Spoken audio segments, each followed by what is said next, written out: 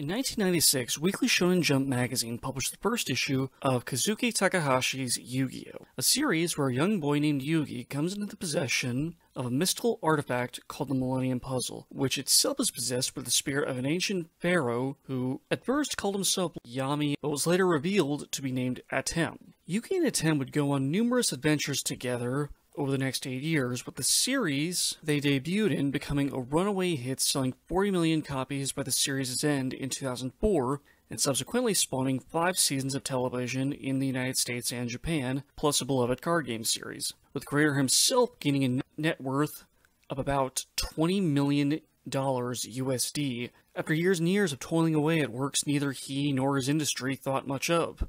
Sadly, though, Kazuki Takahashi would pass away on July 4th, 2022, at the age of 60 years old, having drowned while scuba diving. My mother was always very wary of what I was allowed to watch on television as a child. As such, I was never allowed to watch Yu Gi Oh! when I was growing up, nor really ever play the card game. But because I was a little stinker as a kid, I still snuck the 4Kids dub on Kids WB and Cartoon Network whenever I could, because, well, I liked it.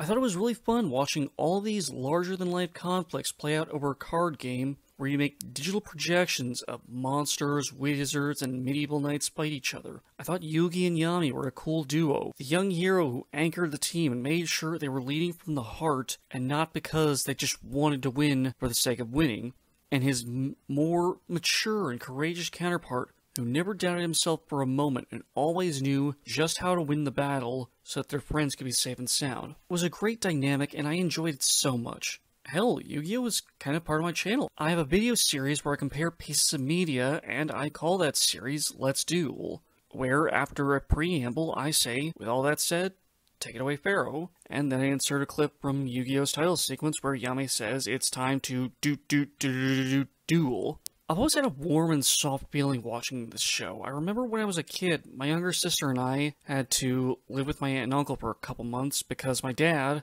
was in the hospital after a bad car accident and my mom would stay with him to make sure he was okay. My aunt and uncle went ahead and let me and my sister watch most of the shows that my mom wouldn't let us watch. And while it was in general just a lot of fun to watch those shows, it was also just good to be able to spend more time worrying about silly things like if Yami and Yugi could prevent Marik from plunging the world into the Shadow Realm, instead of more pressing things like, is my dad going to be okay? And on top of all of that, I've just been really wanting to talk about Yu-Gi-Oh! At the end of my review for 2016's Doctor Strange and 2021's WandaVision, I mentioned that I plan on doing a video about the MCU's Phase 1, and then doing a video about something else that I hadn't talked about before. Check all those out, and then come back for my video discussing the MCU's Phase 1, and then I'm going to be mixing up things some by talking about something else entirely that I'll wait until the next video to tell you all about. Well, at this point, I'd say the moment has pretty well passed on that MCU video, so I'll be pushing that back to sometime, hopefully in May next year, which leads to the something else, which, while it was always going to be Yu-Gi-Oh! It feels all the more appropriate now given what's happened. So before I say anything else, let me just send my love and my best wishes to Kazuki's wife, Rumiko, and their children. I can't imagine what it's like to lose a parent. I hope I never have to know what it's like to lose my spouse. So in that spirit, this video won't be quite as jokey as some of my other videos, and while Little Kuriboh is fucking hilarious, I'll be making a point not to reference him in his Yu-Gi-Oh! Bridged series too often, because I don't want to spend too much time making fun of this series. Not because I think you can't make fun of this series, this series is ripe with material you can make fun of, lovingly or not, but I want to make a video that's less of a pure critical analysis and more of a mix of that and just a straight up tribute to this really wonderful piece of my childhood that Kazuki made possible. So with all that said, Takahashi-san, arigato gozomai ashita anshin shaita shaito yasumo yasumi kudaisei. I say? I obviously can't speak Japanese, but I hope it's the thought that counts. Anyway, with all that said, take it away, Mr. Cumberbatch. Oh. Shall we be? You know what? Actually, actually, Benedict, on second thought, let's hear it from the Pharaoh this time. It's time to do, do, do, do, do, do, do, do. The first episode of this series is every bit as goofy as you remember. It gives you the basic flavor of what this series will be going forward, but you can tell if ever there was a pilot, this is it. Also, it really is just that silly to see Kaiba go to so much damn trouble to steal Mr. Muto's Blue Eyes White Dragon, so it can't be used against him, when he literally has three already. Even if someone can destroy your Blue Eyes with theirs, they'll lose theirs in a stalemate. 3,000 attack points versus 3,000 attack points means both monsters are destroyed. You'd both be down one, which would leave you guys at 2 and 0.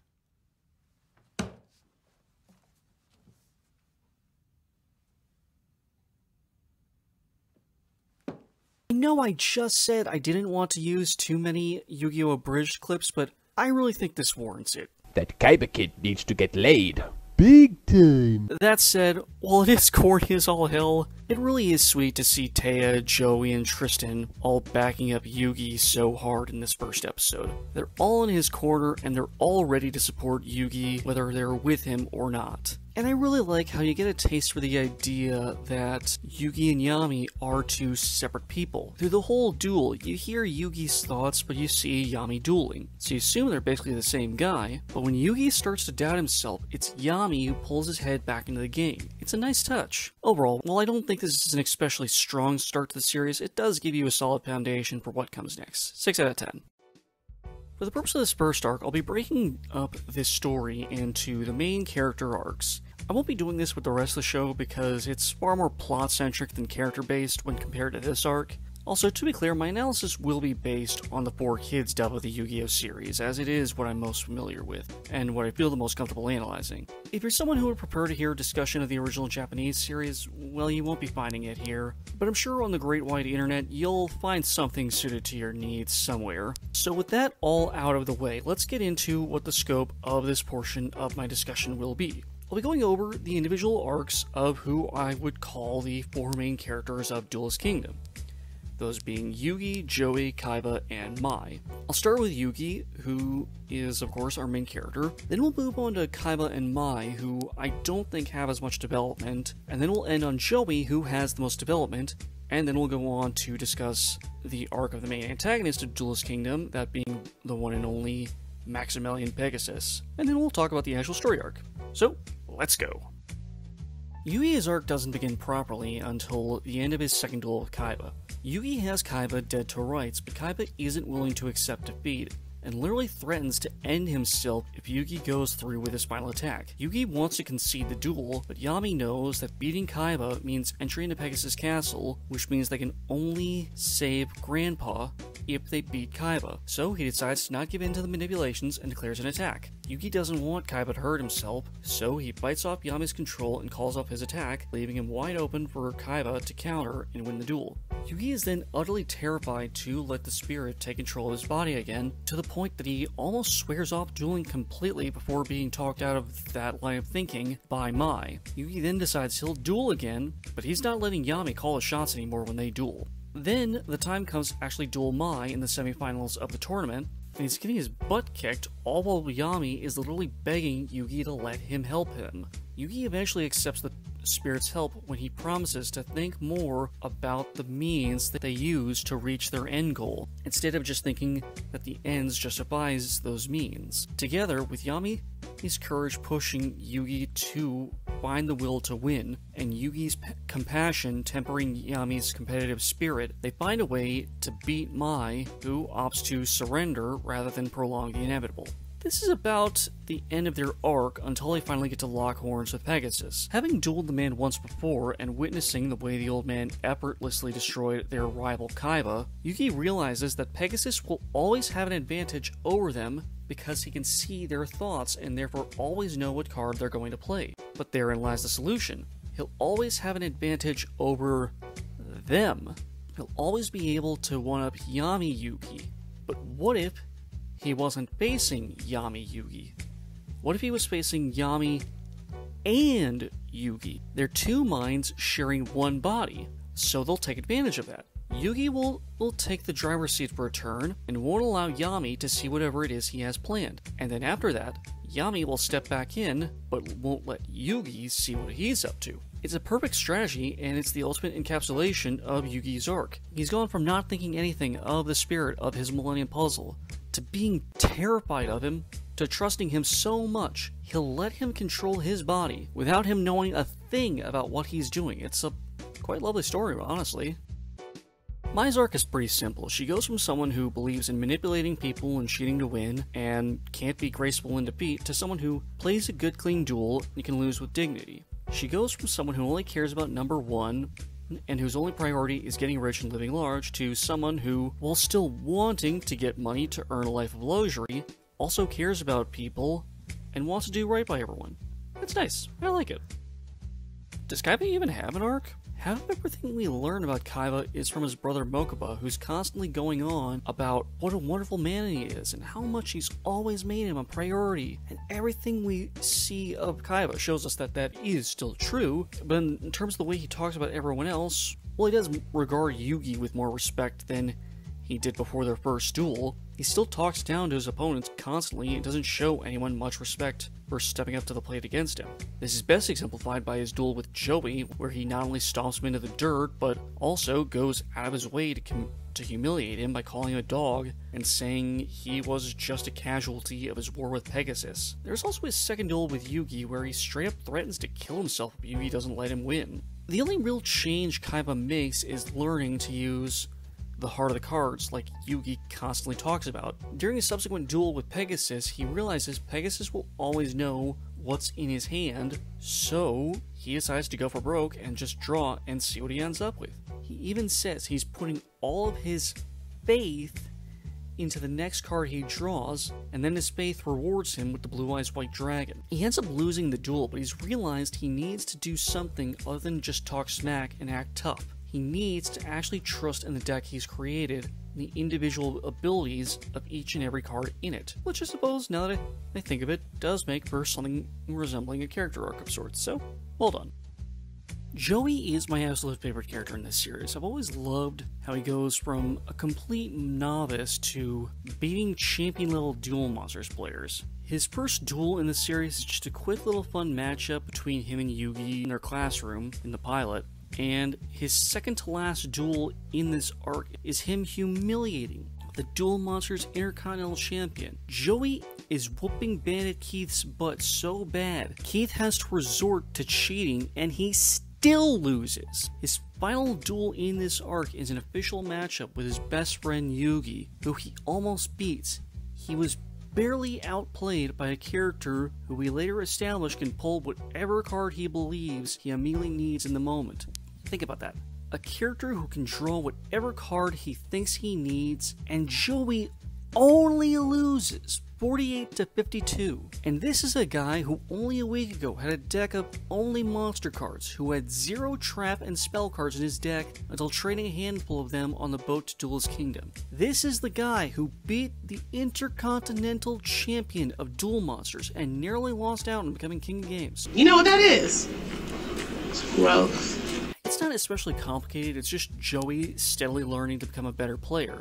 A pretty typical shonen anime arc. A young man realizes he has a skill or wants to become skilled at a particular trade, and we watch them steadily become better and better at it as time goes on. It's not a particularly original story when you really think about it, but honestly, who the hell cares? A good, well told story is a good, well told story. The only real quibble I have is that I think Joey's arc might have worked better thematically if he beat Yugi. But obviously, the story calls for Yugi to win, so he can face Pegasus and win back the souls of his grandfather and the Kaiba brothers. But on the flip side, this actually works for his arc in a different way.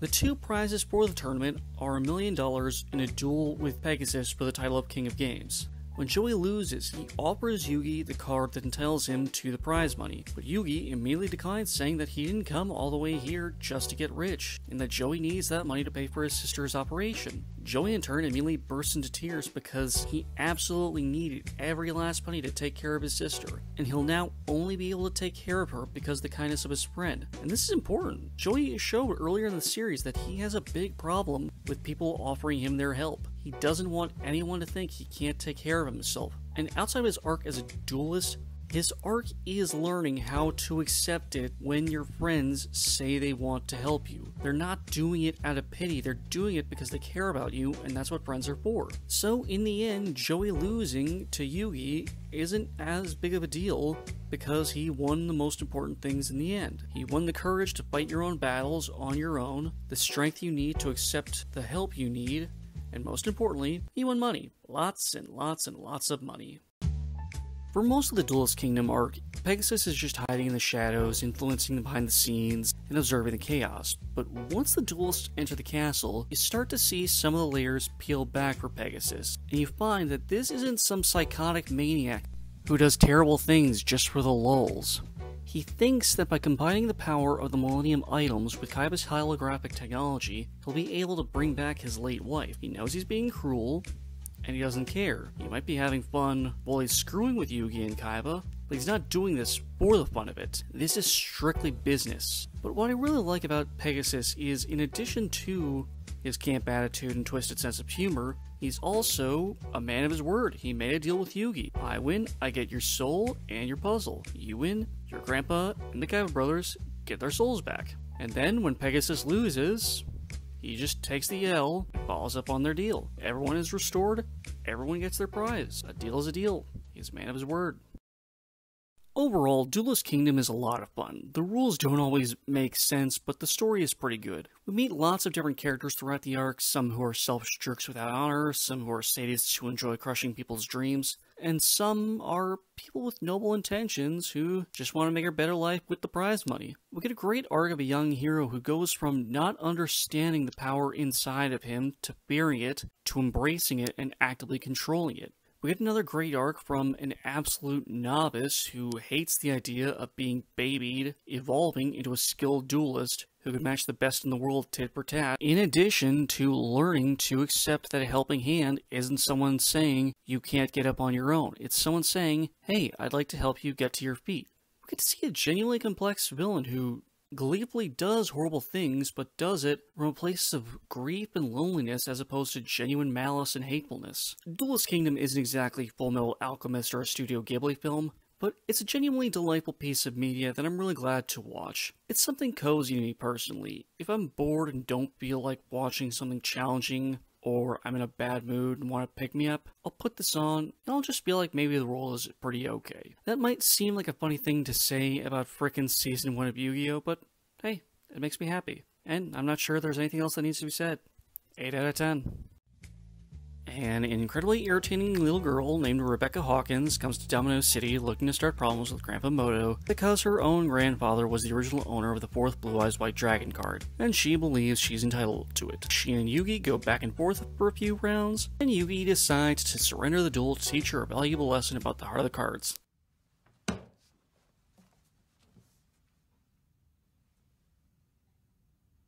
Nothing good comes of this. It's a waste of time, it's not entertaining. It's pretty obvious from the reactions of other characters that Rebecca is meant to be annoying, but her being annoying on purpose doesn't make this episode enjoyable to watch. 5 out of 10, moving on. This is a fun bit of filler. It's much more consequential than the Rebecca arc, seeing as how the main villains of this arc come back for the filler arc at the start of season 3. It's kind of weirdly placed though. I would have flipped this in the Rebecca arc, seeing as how seeing as how this seems to take place right after Duelist Kingdom. During the arc that started this show, five executives who helped run Seto Kaiba's company, Kaiba Corp, got it into their heads that the company might be on more solid ground if Seto wasn't in the picture anymore after his big loss to Yugi. However, the wrinkle in this plan was Kaiba has escaped every attempt at assassination and eventually came home from Pegasus Island, much to the Big Five's horror. So they go for their Hail Mary tactic, appealing to his ego. Uh, hey, Kaiba, you know, uh, you know that virtual reality game you wanted to make up and get running? Um, you want to check it out? Because we we got it all set up for you, man. We it's all set, bro. Mokuba, knowing what show he's in, quickly sees through this blatant trap. Seto, however, being an egomaniac who enjoys being told how brilliant he is, falls for this, again, very blatant trap. He hooks his big brain up to that program, then gets locked into it and put into a virtual prison. Mokuba steals Kaiba's deck, runs off to find Yugi and his friends, they'll agree to help, they sneak into the facility, hook themselves up to the VR sets, and eventually save Kaiba with Yugi and Kaiba doing what would be the first of a few Dream Team matches. It's an obvious filler arc, but it's fun. 7 out of 10.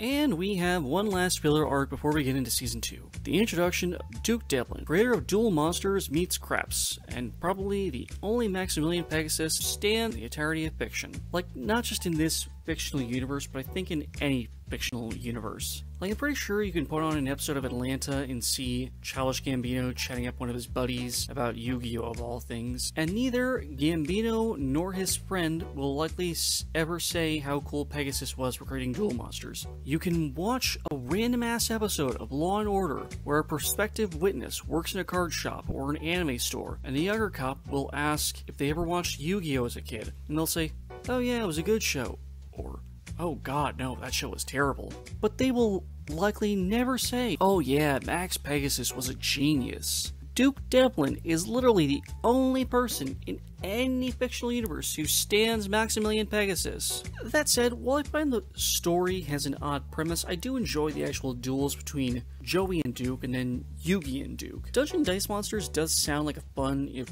overly complicated game. I wouldn't be surprised if this story was something the toy companies pitched to the producers when they needed to make filler arcs between Duelist Kingdom and Battle City. The ending of the arc even has all of the main characters go on about how cool and fun Dungeon Dice Monsters is, and how they'd love to play it again sometime.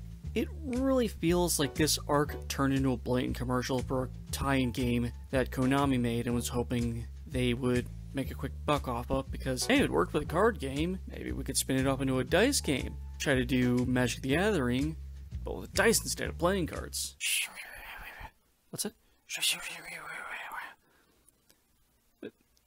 This was in Takahashi's original manga?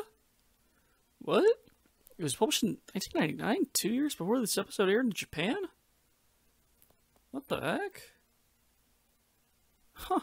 Yeah, well, to be fair, it sounds to me, while the broad strokes are the same as the manga, it definitely seems like the anime feels a bit more toyetic than the description of the manga chapter on the Wikipedia page. But then again, you could easily say the same of many great parts of this series. But even so, I'm really struggling with the logic of Duke here. You're a cheater, Yugi, and to prove it, I'm gonna beat you at a game I personally created, and I'll do so by deliberately withholding information from you about how to play it.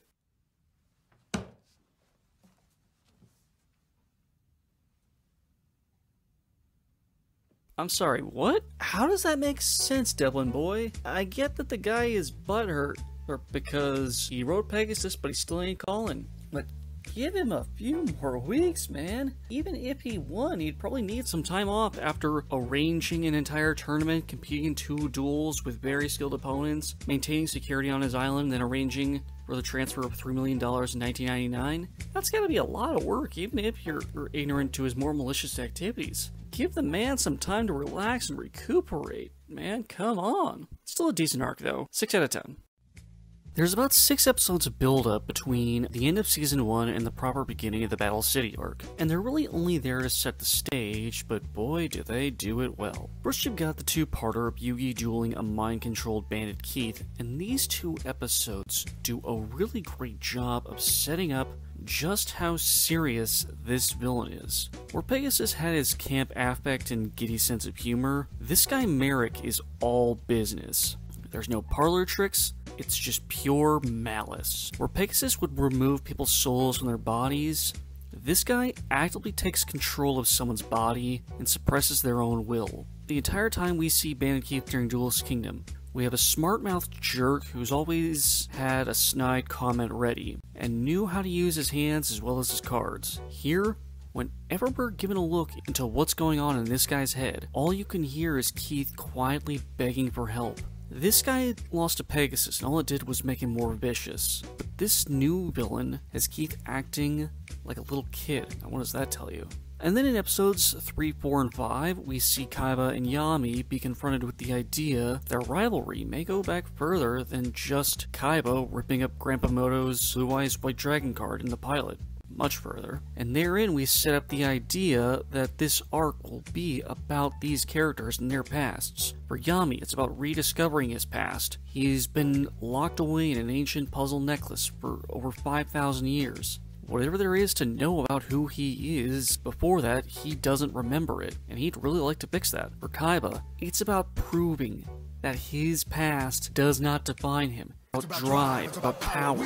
It's about physically killing the past by creating a better present for himself with his new ultimate weapon, his Egyptian god card, Obelisk the Tormentor. With this new card in his deck, it's impossible for anyone to ever beat him because he'll be invincible with it. And then we finish this setup with good old Joey and what's going on in his world, which is to say, actually pretty nice. His sister is about to have her eye surgery, and he's about to kick some butt in this new Battle City tournament. But, in the immortal words of Deadpool, life is a series of train wrecks with only brief commercial like breaks of happiness, and now it was back to our regularly scheduled programming.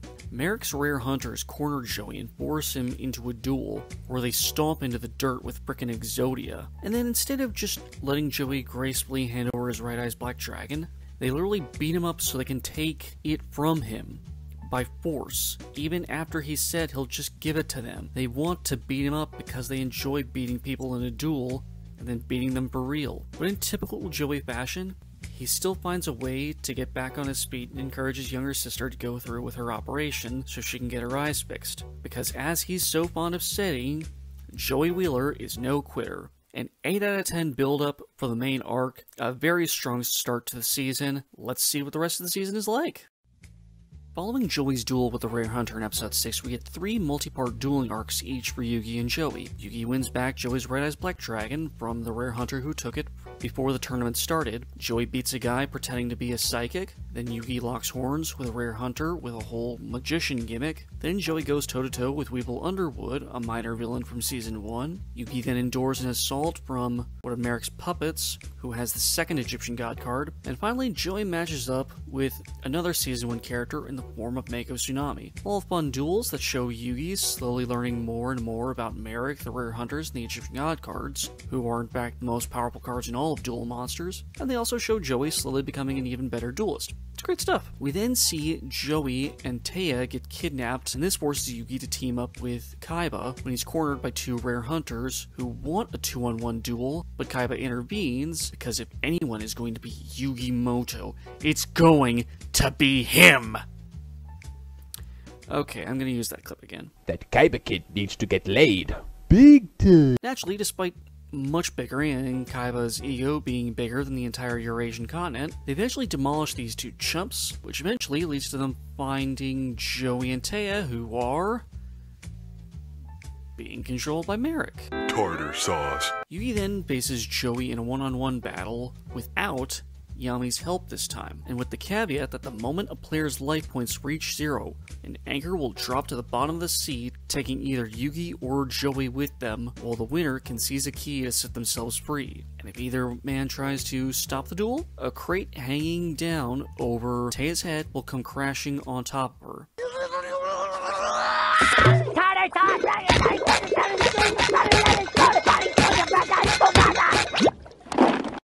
Yugi then does everything he can during the duel to make Joey break free from Marik's control, and eventually, Joey does manage to power out, but by that point, Yugi decides he'd rather allow himself to be the one pulled down when the anchor finally drops, and allows Joey's final attack to go through, causing his life points to hit zero. On the flip side, though, the special effect of Joey's card allows for one of Yugi's monsters to attack Joey back, so Joey's life points hit zero too. So Joey throws caution to the wind and foregoes saving himself in order to save Yugi. His sister then winds up saving his dim-witted behind, but it's a thought that counts, right? We get two more episodes before we get into the semifinals. The first is a quickie where the spirit of Bakura's Millennium Ring, character who first appeared in season 1 but I never really discussed before because I didn't think it was that important at the time. Yami Bakura then steals some poor kid's duel disc and then steps up to Bones in a graveyard, Bones being another minor villain from season 1 that I didn't mention, but he definitely gave Joey a run for his money in their duel.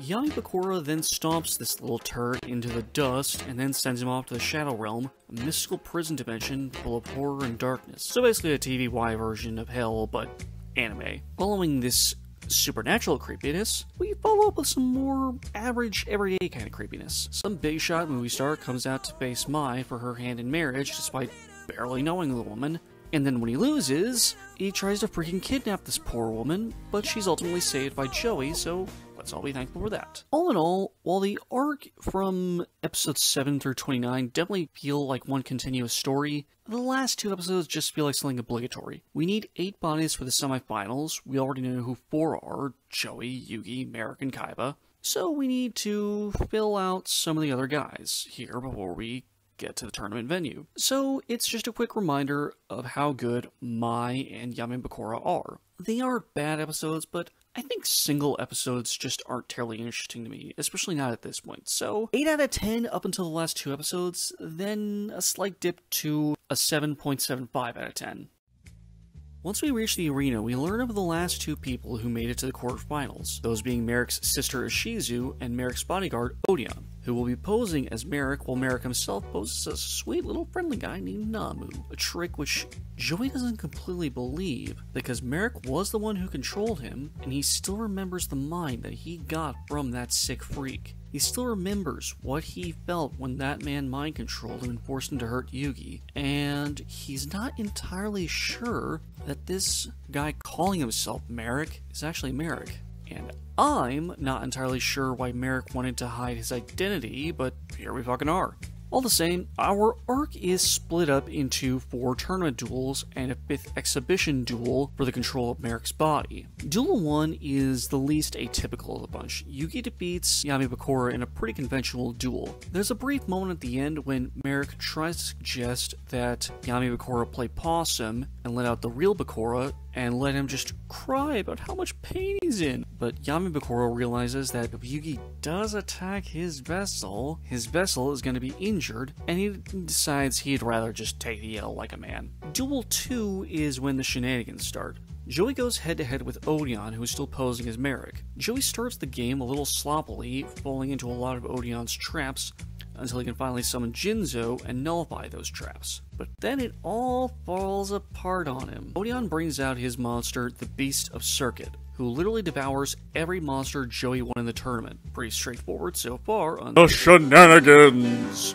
begin. Joey has no monster cards, no magic or trap cards, no anything to defend his life points, and Odion has him dead to rights. But at the same time, Joey's started to openly question Odion if he really is Marik. So the real Marik forces Odion to play a copy of the Winged Dragon of Ra, Marik's Egyptian god card. Odion reluctantly agrees, only to get himself and Joey blasted by lightning. The duel is then decided by whoever can rise to their feet first, which in typical protagonist fashion turns out to be Joey. Odion then falls into a coma and thus unleashes Marik's even darker half. And if you thought the original Marik was vile before, wait until you meet this freakazoid. And that first proper meeting turns out to be Yami Marik versus Mai Valentine, which is also very shenanigan-lated. While Marik spends most of the duel just using his shadow game bullcrap, in this case tying the memories of specific people to his and Mai's monsters. Whenever a monster is destroyed, the owner of said monster loses all memories of a specific person. Mai and Marik have two monsters destroyed each in this battle, so Marik loses all memory of Strings and Arkana, of his servants who dueled against Yugi earlier in the season, while Mai loses all memory of Joey and their mutual friend Téa. Mai still rallies from this, however, and manages to steal Ra from Marik via the special effects of one of her monsters. And this is where we get the true shenanigans. Because when Mai summons Ra, it's just a mechanical orb because apparently in order to actually use the Winged Dragon of Ra, you need to recite an ancient incantation on the card that can only be read by a select few.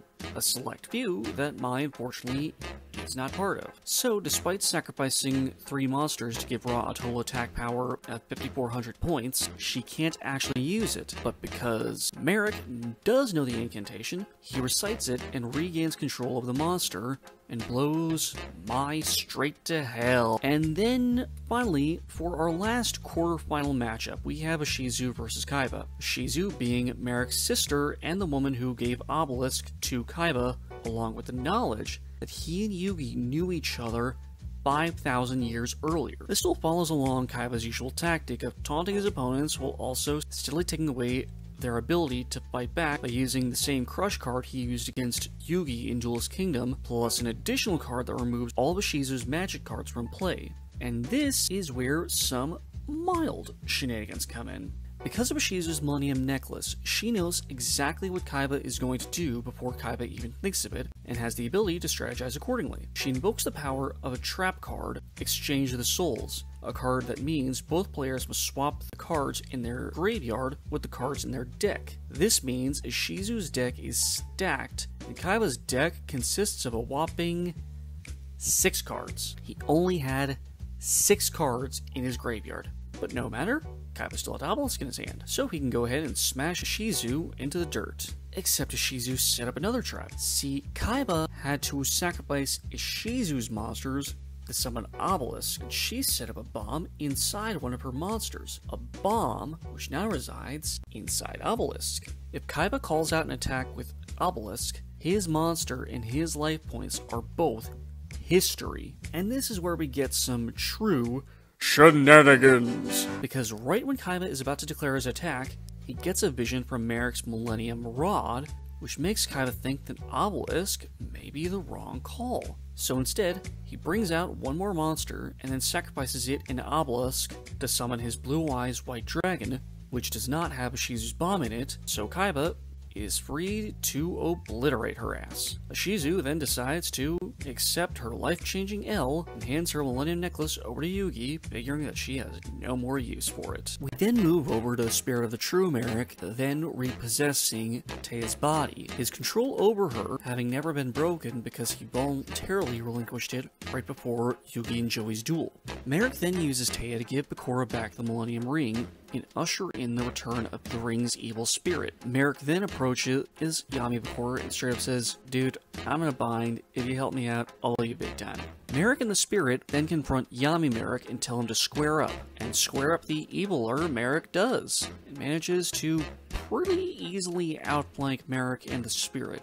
Marik and the Spirit's ultimate strategy was to take the Winged Dragon of Ra from the other Marik and use it against him by using a card combo that will move Ra from the Evil Marik's deck to the Evil Marik's hand to the Spirit's hand.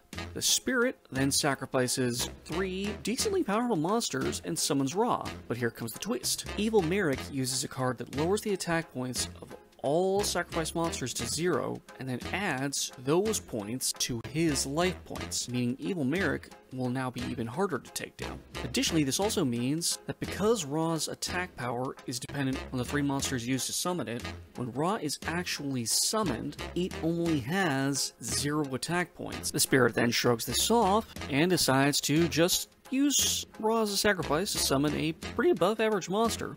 But this is where the Evil Marik strategy pays off. You see, the card that the spirit used to take Ra in the first place was a magic card that meant the evil Marik and the spirit got to trade one card from each person's hand. And so the card that Marik took was Monster Reborn. So Evil Marik brings back Ra and activates another of its many, many, many, many, many, many, many, many special abilities. That being, you can empower Ra by sacrificing your life points. So Evil Marik, having a whopping 8,550 life points, sacrifices all but one point to give Ra a devastating attack power of 8,549 points to the Spirit and the good Marik's 2,450 attack points.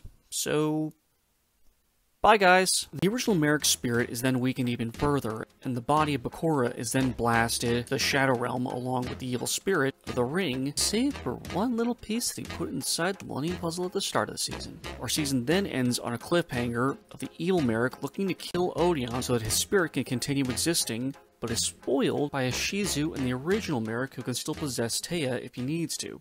The quarterfinals is an extremely exciting arc. We're given intriguing character details about Marik, Shizu, and even Odion, who, up until this point, was just Marik's mysterious servant who you may not even really wondered about, but we're given a lot of insight into him, as well as some insight into Mai's backstory, which just makes her character even more tragic when the evil Marik sends her mind to the Shadow Realm. We're given some more intriguing details about Kaiba and the Pharaoh's apparent connection, from 5,000 years ago. And while an argument could be made that introducing an even eviler Marik was a confusing choice, and I would agree, but the thing is, well, the eviler Marik is just plain awesome. Well, the original Marik did have that marvelous sniper strategy and seemed to have a pretty solid idea of how to take down Yugi while controlling Joey. He was also getting to be a bit whiny. Eviler Marik, in addition to being so much creepier, He's also just delightfully sassy. I actually love one particular joke he makes during his duel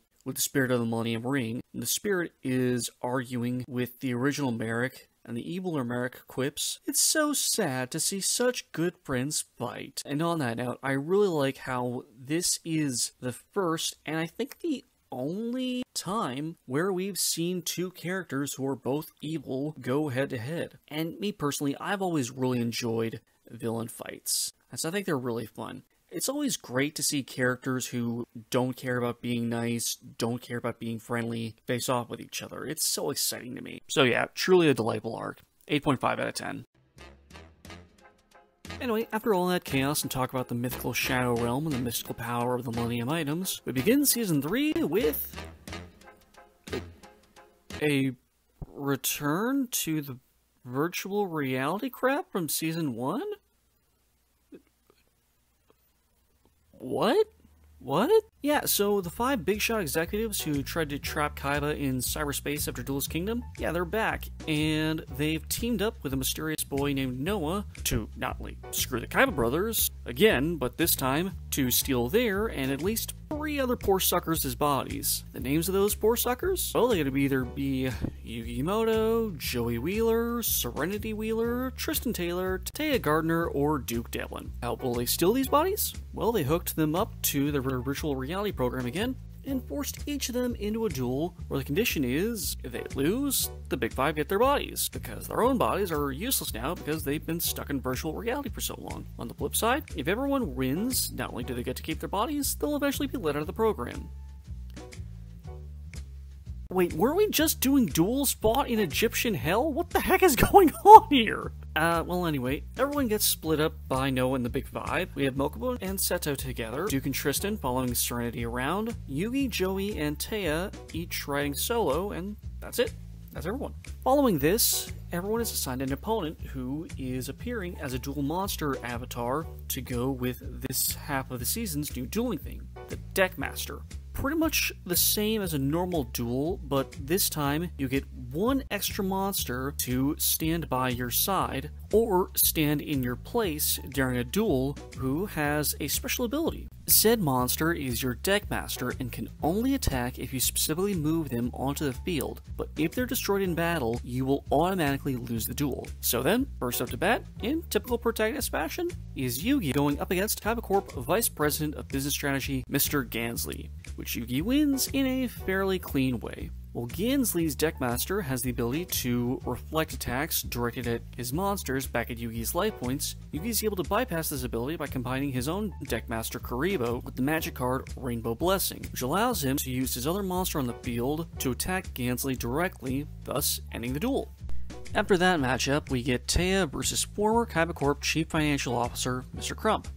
Now, this duel, this duel features some more of those infamous shenanigans. Crump actually plays a pretty fair duel aside from leveraging the environment around him and Téa to his advantage. But when Téa calls her Deckmaster, the Dark Magician Girl, to the field, who then uses her Deckmaster ability to allow Téa to draw four more cards for every monster in her graveyard. Téa then draws the card Sage's Stone, which lets her summon the Dark Magician proper from Yugi's deck.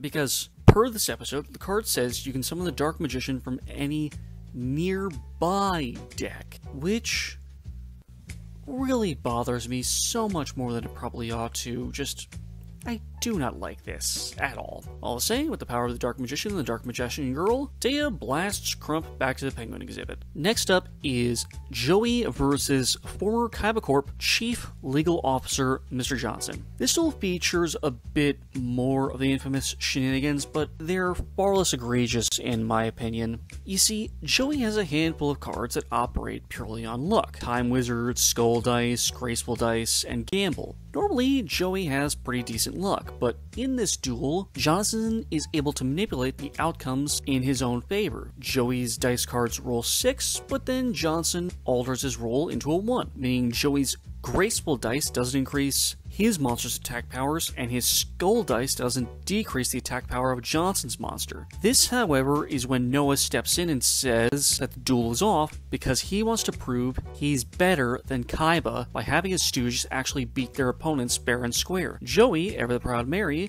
insists they be allowed to finish their duel on the condition that Johnson be prohibited from cheating anymore. Noah shrugs and all but says it's Joey's funeral, and the duel continues. Joey then comes in clutch with some good old fashioned Wheeler luck invokes the power of his Burning Soul magic card to empower his Flame Swordsman, and another magic card, Arduous Decision. Joey can draw two cards, a magic or trap card and a monster card, and Johnson has to guess which card is the magic or trap card. If he guesses wrong, the monster card is used to invoke Burning Soul Sword's power to properly strengthen the Flame Swordsman, and guess wrong, Johnson does indeed. The last of his life points are blasted away by the Flame Swordsman, and yeah, I don't mind the shenanigans as much because the shenanigans are seen in universe as cheating. It's not some mystical bullcrap.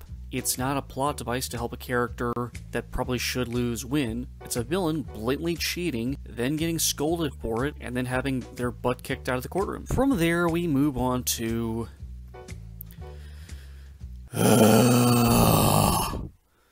Tristan, Duke, and Serenity versus former Kaiba Corp Chief Technical Officer Mr. Nesbit. Nesbit knows out of the gate that Serenity knows the least about dueling, so he challenges her alone. So Tristan immediately tries to be Serenity's knight in shining armor by volunteering to duel him instead. Duke just wants to protect the novice Serenity and the dim-witted Tristan by dueling for the both of them, but Nesbit insists that his target is only Serenity. And so, the boys make a compromise. Three on one them and Serenity versus him. And based on my prior assessment, you can already guess how this duel is going to go. Serenity is going to make rookie mistake after rookie mistake for the whole game. Tristan is going to defend her by playing badly on purpose, and Duke is going to try and end this quickly by actually playing strategically because he actually knows how to play frickin' duel monsters. So, eventually, Tristan loses the duel because he focused on protecting Serenity instead of winning the duel, but thankfully, it's Serenity who ultimately wins the duel. Happy endings all around, and Nesbit is taking Tristan's body anyway. of course he is. Fuck. Well then, we follow up on Tristan as Nesbit with the former CTO kidnapping Mokuba. Seto of course runs after him, but instead bumps into the fifth member of the Big Five, Lecter, the right-hand man of Seto's father, Gozaburo Kaiba, who of course challenges him to a duel. Pretty normal, but the problem here is Lecter's deckmaster is Jinzo, a monster with the power to destroy trap cards. It's tricky fight, but Kaiba pulls out a win by playing his trump card, the Blue Eyes White Dragon. Lecter had already played a card that had zero attack points, but gained 1,000 more points with each turn after it's summoned. But that's each of Lecter's turns. Otherwise, the card still has zero points during Kaiba's turns, so one shot from Old Blue Eyes, and it's game over for Executive number 5. Following this matchup, we get the big explanation about why Noah arranged all this crap anyway. Noah is the biological son of the man who adopted Seto and Mokuba. Noah is Seto and Mokuba's adoptive brother. Gozaburo adopted Seto specifically to serve as a challenge for Noah. Gozaburo saw how smart Seto was and decided that having him around would force Noah to actually grow as a person, to actually develop some ambition, and would ultimately make him worthy of inheriting his company. That's what Noah's story is, but Kaiba doesn't buy it, but before Noah can explain further, he leaves to deal with the Big Five, who never got a body, and who are now trying to take Joey, Duke, and Serenity's bodies by force. In the next episode, Noah decides to arrange for a 5 on 1 duel. All five members of the Big Five will use Tristan's body in a duel against Yugi. If they win, they can take the pot. Yui, Joey, Tristan, Serenity, Duke, Téa, anybody they want, they're theirs. If they lose, they have to give Tristan his body back and they will be forced to wander the virtual world forever. Yugi, ever the big hero, accepts the duel without question, but Joey, ever the proud Mary, volunteers to be Yugi's partner. Johnson Thinking Joey a weaker duelist, accepts his offer on behalf of his colleagues. Johnson is, of course, an overconfident doofus who refuses to stop talking in legalese, so what the hell does he know? The duel goes back and forth for the first half of the game, with neither side gaining a definitive edge until Lecter draws out their final boss monster, the Berserk Dragon. The Berserk Dragon issues an attack against Yugi, but it fails thanks to Joey's Silver Dollar Trap card, a card which protects monsters with 1000 attack points or less, which Joey's Flame Swordsman had thanks to using up most of his attack points earlier to power up Joey's other monsters. So the swordsman took the blast for the Dark Magician, and then, upon Joey's turn, he plays the magic card Knight's Title, turning the Dark Magician into a warrior type monster, giving the Flame Swordsman the ability to power up the Dark Magician, making Yugi's monster go from 2500 points to a pretty decent 3200 points, making him just strong enough to take down the Berserk Dragon, who only had a comparatively weaker 3000 attack points.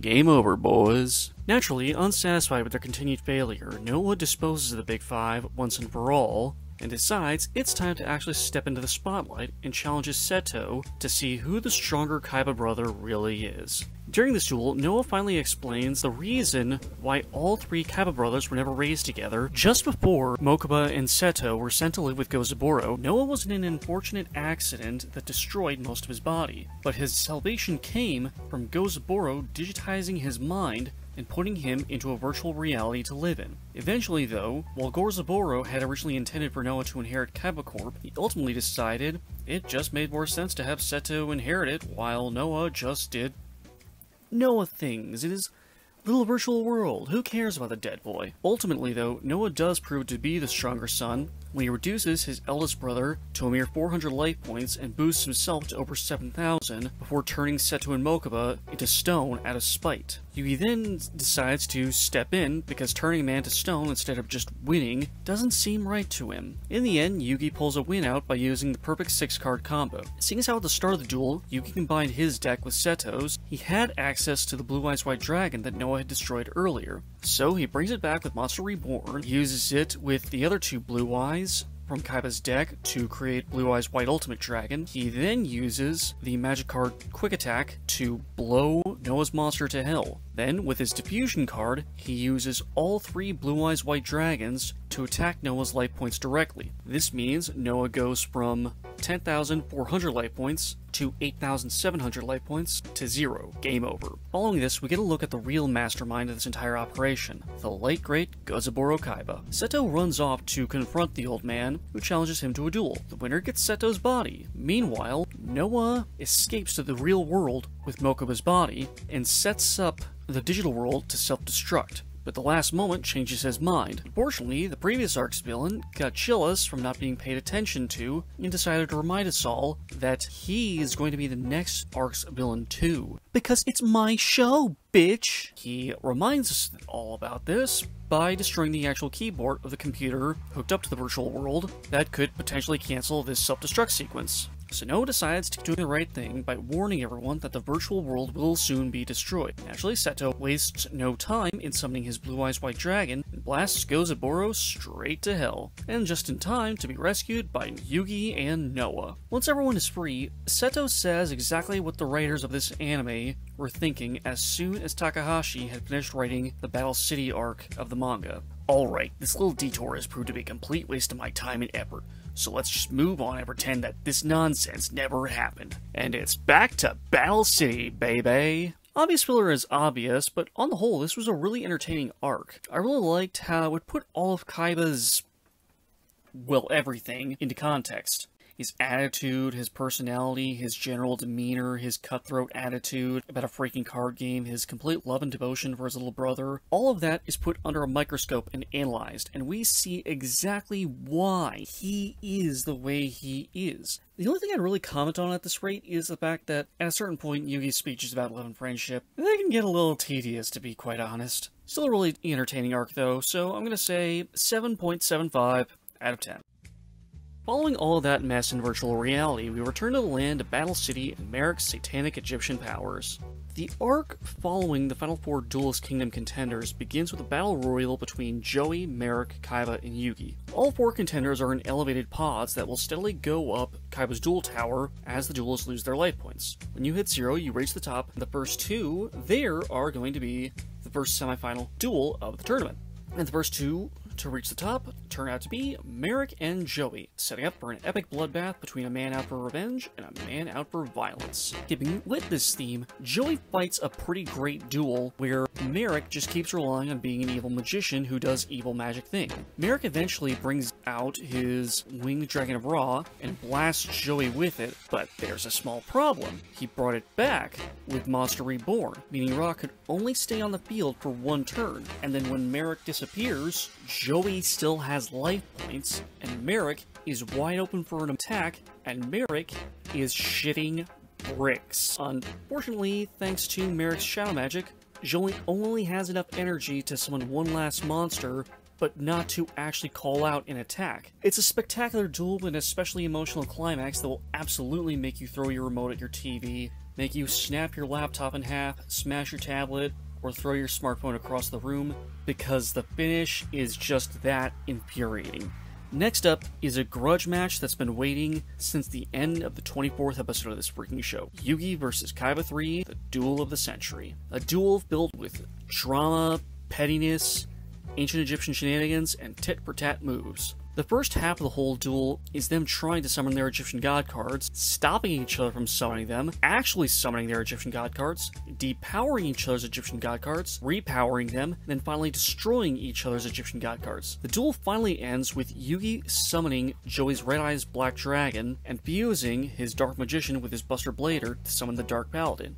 Then, he uses his Diffusion Magic card to split the Blue Eyes White Ultimate Dragon into Kaiba's three original Blue Eyes White Dragons. The Dark Paladin started with an attack power of 2900 points, but he gets an extra 500 attack points for every dragon on the field, giving him a whopping 4900 attack points. Kaiba has 1900 life points so far, so after one attack, he's knocked out of his own tournament. Game over.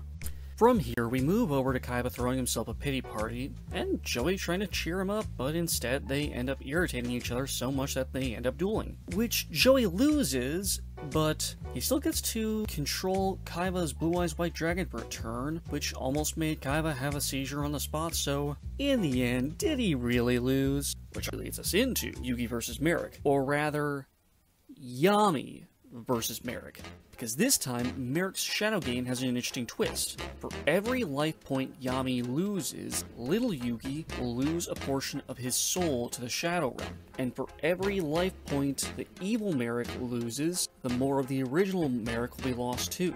If Yami loses, he loses Obelisk, Slifer, his puzzle, and his body. If the evil Marik loses, then his better half is gone forever. Eventually, the duel comes down to the evil Marik summoning the winged dragon of Ra, using the same trick he pulled on Bakura for the win, that being attributing all but one life point to give Ra an attack power of 4,899 points. But Yami and Yugi pull a Hail Mary and decides to destroy Marik's Egyptian god card by hitting him with the power of the Norse apocalypse by playing the magic card Ragnarok. However, before Yugi and Yami can complete this move, a recovering Odion arrives on the scene to plead with the real Marik to resist his darker half. Marik, in this moment, realizes he does have power over his darker half and wrestles for control of his darker half, while the Pharaoh and that good kid from Domino City complete their move. Following this, the original Marik and the evil Marik have switched places, with the original Marik standing in the flesh while his evil half is most consumed by the Shadow Realm. Despite his evil half's desperate pleas, Marik decides to put an end to the duel, and him, and all this madness, by surrendering and willingly giving the Pharaoh the Winged Dragon of Ra. Following this, Mai Duke and Serenity all head back to their homes, and Joey and Yugi meet up for one more duel for Joey to earn back his Red Eyes Black Dragon. Battle City is a really terrific arc. The duels are excellent, the character interactions are superb. The second to last episode, ending with Yugi and Joey facing off, it really does just kill me. It's just more effortlessly entertaining for kids anime, and I'm loving it more and more. 8 out of 10. Following all of that ancient Egyptian craziness, we get into some anime original craziness. This is likely because Takahashi was still writing the finale to the manga in 2003 when this arc began airing in Japan, and when your show is a smash hit but the material isn't yet complete, you can either take the Game of Thrones and Full Metal Alchemist 2003 approach and say, eh, screw it, and write yourself a completely new ending, or you can just stall for time with your own original stories. And anime writers do this a lot. It's why you had the Big Five arc at the start of Season 3, instead of just immediately finishing up the Battle Sea arc from the season before. Anyway, this craziness starts with Yami deciding to take the Egyptian god cards to the museum in Domino City to see if showing them to the tablet can unlock his memories. Unfortunately, it just causes a lot of really weird stuff to happen inside the museum and outside. A whole bunch of creatures from the Duel Monsters card game appear alive in the flesh? What? The craziness continues even further when a trio of bikers steal the god cards from Yugi was then challenged to a duel by some weird old man in a dark cloak. We then go from craziness to absolute insanity when this guy plays a field magic card called the Seal of Orichalcos. The effects of this card are they add 500 attack points to every monster on the summoner's side of the field, allows for monsters to be played in the Magic and Trap card zone. The card cannot be removed from play either by the user or the opponent. Outside interference is a no-go. And finally, whoever loses the duel once the seal is in play will also lose their soul. Oh yeah, and uh, the ancient magic that created this seal, it predates the magic of the Millennium items. The seal of Orichalcos is older than Yami. Following that revelation, the old man decides to turn the insanity up to 11 by sacrificing three monsters to summon Obelisk the frickin' Tormentor, making Obelisk's insane amount of power even greater. Yugi does eventually manage to surmount an offense and take this old guy down, but before he can recover his card, the old man tosses it to the bikers, who stole them in the first place before his soul is claimed by the seal. After this, Rebecca Hawkins and her grandfather Arthur return to Domino City to explain that they have rediscovered Atlantis, and they believe that the magic of this seal may likely be connected to it. Oh, you gotta be kidding me.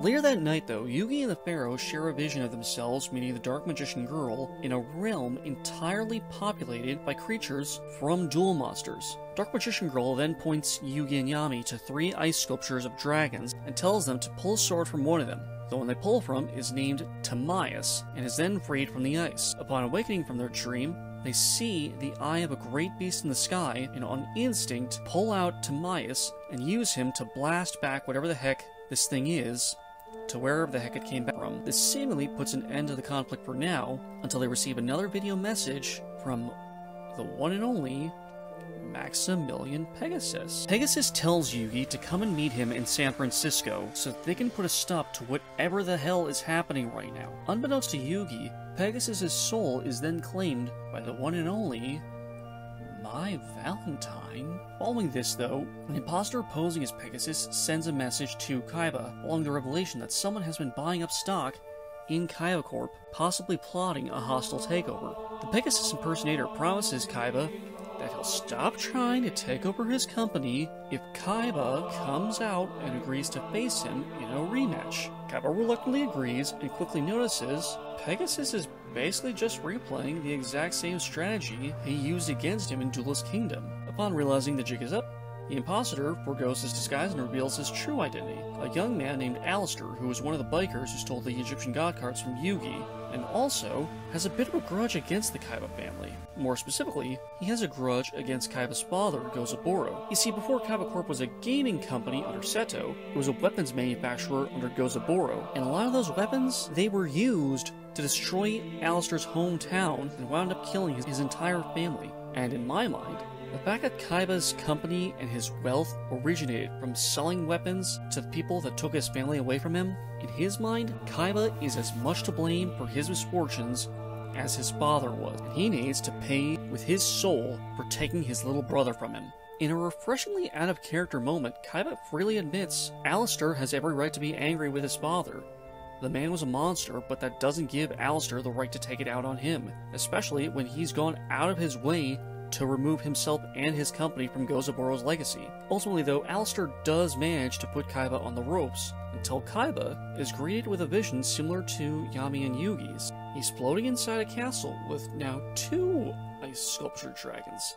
The voice of the Dark Magician Girl then tells Kaiba to pull a sword from one of them. Kaiba reluctantly does so, then snaps back to reality with his hand on his deck about to draw a card. The card he draws the Fang of Critias, the very same dragon he just freed in his vision moments ago. Kaiba then summons Critias and fuses it with his Crush Card Virus Trap? Somehow that works, and Kaiba manages to put Alistair on his back foot. Realizing that he can't win, but losing means losing his soul, Alistair decides to throw the towel in and plays a trap card that makes the duel a tie. So, when they both hit zero life points, the seal blasts them both away, but everyone still has their soul. Alistair then runs off and is nowhere to be seen. So Kaiba and Mokuba decide to be on their way, with Kaiba thinking he ought to go and find where Pegasus really is, because he is the only man who could know anything about how the heck Critias wound up in his deck. Meanwhile, Yugi and the gang head out to San Francisco to meet up with Pegasus and see exactly what it is he wanted to tell Yugi. But when they arrive at the HQ for Pegasus's company Industrial Illusions, all of the phones are down and the building locks down as soon as they enter, and they are greeted with the arrival of a now claimed by the dark side, Mai Valentine, who immediately challenges Joey to a duel, and she whips his butt at it until Joey takes control of the third legendary dragon card, the Claw of Hermos. Joey then combines Hermos with his Time Wizard to create an accessory card to add to his Speed Mega Cyber. This combo then allows Joey to send each of my monsters to a certain number of turns into the future. Two attacks later, and Joey drops Mai down to 450 life points to his 200 even. Joey's plan now is to basically force a tie so that no one's soul can be claimed by the seal. But one of the bikers, a jolly good Englishman named Valon, decides he doesn't want to risk Mai losing, likely because he has a huge crush on her, and uses his portion of the Orichalco stone to unlock the steel and render the duel a no contest. Following this, Yugi and the gang meet up with the Kaiba brothers and Duke Devlin, along with Weevil Underwood and Rex Raptor of all people. Once together, they decide to scope out the Industrial Illusions HQ to find a message from Pegasus catching up the main cast on what's coming. A man named Dartz is the one leading these bikers, and behind all of this crap with the Seal of Orichalcos. His ultimate plan is to gather enough souls to bring about the return of a beast known as the Great Leviathan. In Pegasus's message, he offers Yugi a one-of-a-kind card to help him in his battle against Dartz, a card which appears blank, but Yugi decides to hold on to just in case. Following all this chaos, Kaiba runs off with Mokuba for parts unknown, while Yugi and the gang head out to meet with the Hawkins family. Unfortunately, Professor Arthur was just kidnapped by Raphael and Valon in an effort to lure the Pharaoh into a duel, a trap which Yugi willingly walks into because by the time he actually arrives, Raphael has already let the professor go. Raphael specifically wants to duel the Pharaoh because he wants to prove that the Pharaoh is actually the evil one between him and Dartz. Yami doesn't want to believe it, but Raphael's words shake him to his core. And what shakes him even more is when the power of exchange is invoked. The only card you can trade Raphael is the seal of Orichalcos. Eventually, Yami realizes the only way for him to possibly win this duel is to invoke the seal's power, which he does despite Yugi's begging and pleading. Eventually, Yami loses the duel anyway, but seeing as how they are two souls in one body at the last possible second, Yugi's soul pushes away Yami's to let himself be the one claimed by the seal. And this is the first time we see Yami really lose it. No dignified righteous fury, he's fallen right into the dirt and is screaming to the heavens in guilt and pain. Ah! It should have been me, not him! It's not fair! It is absolute cinema. This is especially impactful because it is the first time in this series where Yami and Yugi just straight up lose. They didn't give up, like with his match against Rebecca after Duelist Kingdom. He didn't fail to make an attack in time because of a time limit, like his first duel against Pegasus. And he didn't have a win clinched but stopped the attack at the last second because he thought his opponent would hurt himself if they lost, like with Kaiba in Duelist Kingdom. Yugi straight up did the job for Raphael. This feels like the Yu-Gi-Oh! equivalent to John Cena losing to CM Punk at Money in the Bank 2011, or Rob Van Dam beating John at ECW One Night Stand in 2006. Hell, it might even be comparable to Brock Lesnar absolutely slaughtering John at SummerSlam 2014. And to be very clear, yes, I am absolutely 100% saying that the Pharaoh is the John Cena of anime.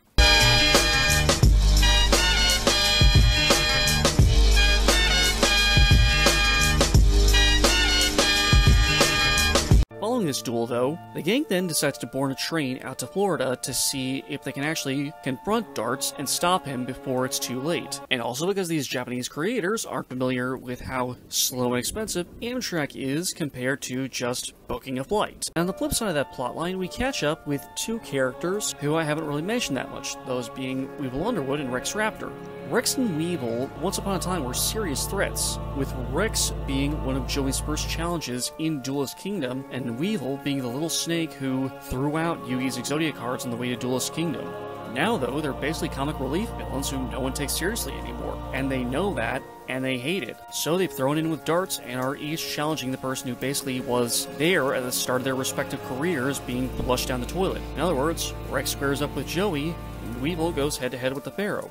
These are decisions that both of these boys live to regret when their souls are claimed by the seal. Following the Pharaoh and Weevil's duel, the train ends up flying off the tracks, leaving Tristan, Joey, and Rex behind, Téa and Yami venture out into the wilderness to find some help, with Weevil having disappeared. The duo then meet an old man named Ironheart and his granddaughter Chris, who helps Yami accept his mistake and give him the confidence he needs to face Dartz. On the flip side, Duke and Rebecca decide to drive out to Florida themselves. The professor, to actually translate the Atlantis exhibit, Yami and the gang were heading out to Florida to check out to learn more about Dartz before they confront him. But they stop when they see Valon and Mai hanging out on the side of the road. Rebecca, who has a massive crush on Yugi, decides she wants some payback and challenges Valon to a duel, which she accepts. Duke, not wanting Rebecca to lose her soul, decides to make it a two-on-one affair, which Valon also accepts. Valon then promptly wipes the floor with the both of them and tells them that Joey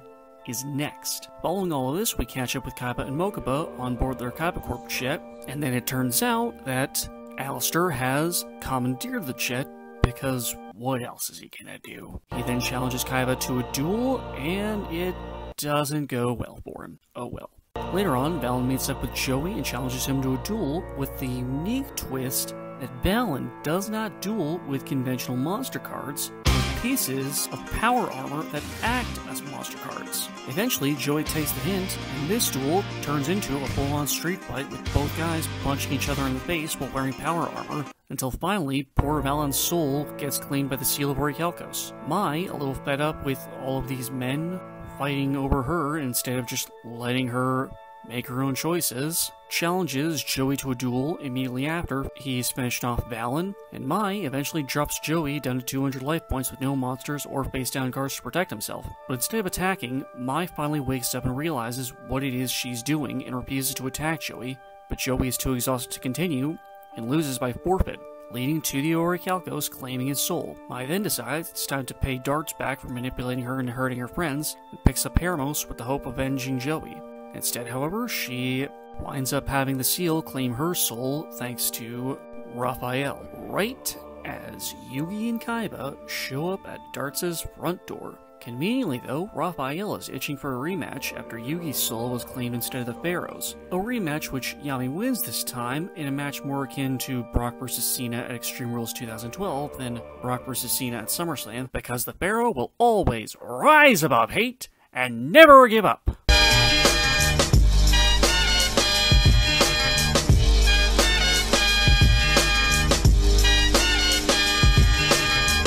However, Yami isn't the only one who rose above hate. Yami managed to convince Raphael to let go of his hatred and inner darkness so that when he lost the duel, he did not lose his soul. Following this, Raphael gives Yami the key to actually getting into Dartz' stronghold, while he sticks around to make sure Mai and Valon will actually be okay when their souls return to them. Because now, Kaiba and Yami are about to head out and teach Dartz a lesson he won't forget.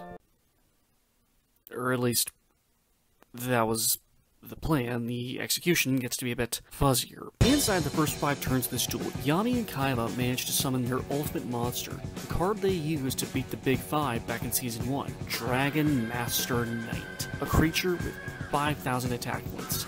Yami attacks immediately, and it does absolutely nothing thanks to the special effects of Dartz' monster, Orichalcos Kyutora, a monster with the ability to absorb all attack damage. Dartz further ups the ante by adding a second and third layer to the Orichalcos, Orichalcos Deuteros, which gives him 500 extra life points once per turn for every monster on his side of the field for a whopping final total of 20,000 life points and prevents his life points from being targeted directly, and Orichalcos Tritos, which prevents Yugi and Kaiba from playing magic and trap cards that target Dartz' monsters. Dartz even manages to put enough pressure on this dream team that he manages to take out Kaiba and claim his soul. Yami eventually figures out a way to win by summoning the legendary dragons and using Pegasus's card to bring about their true forms, the legendary Knights of Atlantis. With their combined power, Yami eventually manages to defeat Dartz. This manages to bring back Kaiba, Joey, and Yugi, but there's still work to be done. Since Dartz needed the Pharaoh's soul to summon the Leviathan, he decided to just say screw it and use his own soul instead. Getting past the Leviathan does prove to be pretty tricky, but Yami plays the trump card, bringing out his now recovered Egyptian god cards. Finally, once Dartz and the Leviathan are taken care of, Yami now has to put away his own inner darkness to finally triumph over the Orichalcos, which he does, and then turns around and purifies Dartz' heart back to the way it was before the Orichalcos stones ever arrived in Atlantis. All is well again, and the story is over. The Waking the Dragons arc is a bit unique in that it's the first and only time where the entire season is just one arc. I think the final battle with Dartz just goes on way too long. You think he's beaten, then Yugi, Joey, and Kaiba have to go out and fight them all over again. And then you think, now he's done. Now we can go home. But then Yami has to go toe to toe with him one more godforsaken time. This is still a really good arc, though. I just think that the final confrontation with Dartz just again goes on way too long. I think it might actually drag down the rest of the season for me. But that said, the duels between Raphael and Yami and Valon and Joey's Slugfest, they are both big highlights. These are the most exciting duels of the season, and while it's a little embarrassing to see Rex and Weevil be reduced to just the bulk and skull of Yu-Gi-Oh! Their actual arc in this season is actually pretty interesting and kind of tragic. They used to be these big-time hotshots that everyone feared and respected, but then the main characters came in and kicked their butts. And you never really took the time to think more now about what becomes of the two big-time hotshots when they finally take an L. And it turns out what happens is everyone that you stepped on and bullied now realizes they have the power to step on and bully you. And it hurts. Doesn't it? Plus, specifically on the Joey front, I like how this time around, Joey isn't specifically portrayed as someone who just doesn't understand what's going on or what he's doing. He doesn't fully understand what his opponents are doing, but that's just because Mai, he just doesn't understand what she's doing, period. Not just within the context of duel monsters. And with Valon, well, who the heck uses power armor as their monster cards? In the first half of Duelist Kingdom and the first half of Battle City, Joey kept being shown as being out of his deck and kept winning off of pure luck. Here, while getting Hermos in his duel against Mai is pure luck, it's not luck like his dice rolls, it's luck like the universe itself has decided Joey Wheeler needs to win this duel, and when he does in the end. And while we're at it, you know, it was really starting to bug me that in Duelist Kingdom, it was mostly about Yugi and his character growth, but Battle City didn't really show any growth for Yugi or Yami. Here, though, this storyline is very much about Yami realizing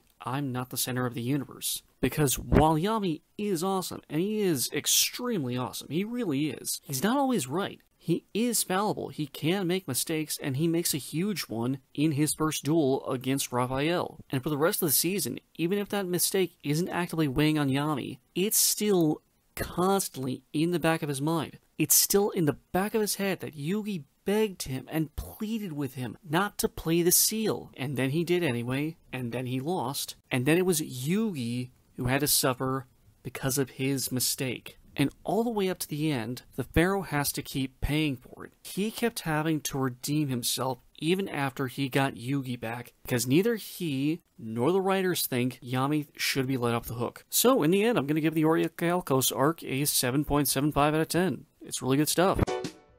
Season 5 is the end of the road for Yu-Gi-Oh! Duel Monsters. For me, it's been an absolute blast from start to finish, but in the immortal words of Victor Stone, the ride ain't over yet. Because following all of that chaos over the blasted seal of Orichalcos, Kaiba finally has his own theme park up and running. The wonderful world of Kaiba Land. And he wants to do a tournament to commemorate it. And who does he pick for it? Well, Joey's in it, Rebecca's in it, Yugi's grandpa is in it, Yugi himself will defend his title as King of Games against the winner, and then we got.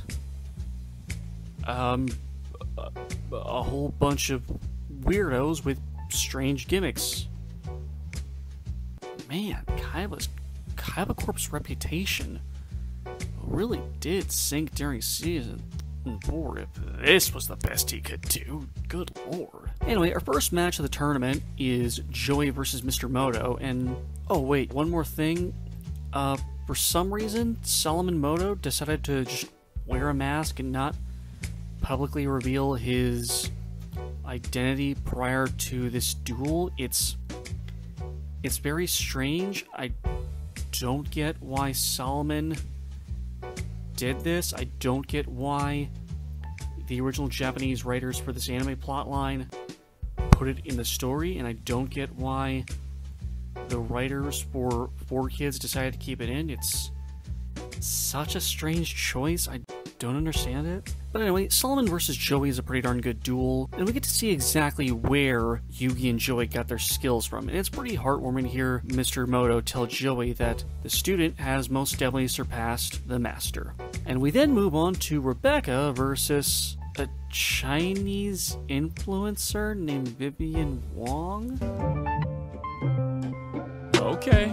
It's actually a pretty solid duel as far as one episode duels go. It's a really good back and forth with Rebecca ultimately controlling most of the action and scoring W ultimately. Next up, we have what was supposed to be some rich German guy with pink hair versus some guy who looked like a druid, but then Rex and Weevil came back to do their bulk and skull routine and locked the poor druid guy up in the supply closet. They walk out, the druid guy's duel and immediately get exposed and are about to be kicked out by Mokuba. And the German guy says, Meh, I am already here. We may as well have some fun.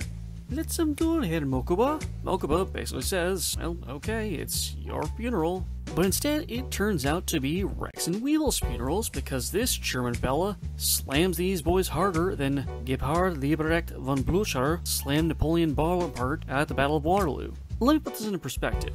Weevil's first turn was summoning his Insect Queen, and Rex's was summoning Black Tyranno. So that's a monster with 2200 attack points and a monster with 2600 attack points. And then the German guy's first move was winning the entire match. So what's up next?